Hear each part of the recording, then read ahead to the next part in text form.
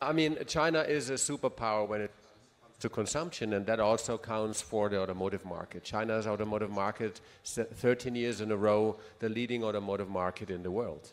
And if you see just the numbers, over 5 million cars this year are new energy vehicles. This is twice the market size of the biggest European market, Germany.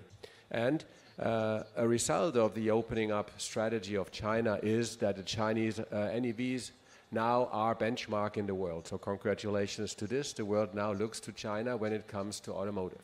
Porsche has one of the most aggressive uh, transitions from combustion engine to uh, electric engines of the traditional car makers. Our commitment is that by 2030, 80% uh, of our cars sold will be purely electric. And this is uh, a very, very ambitious targets. Um, and we are very thankful for the Chinese market because uh, it's one of the biggest, it's the biggest market for us, and we will stay here and we'll work together in a very fruitful relationship for the future to be successful together.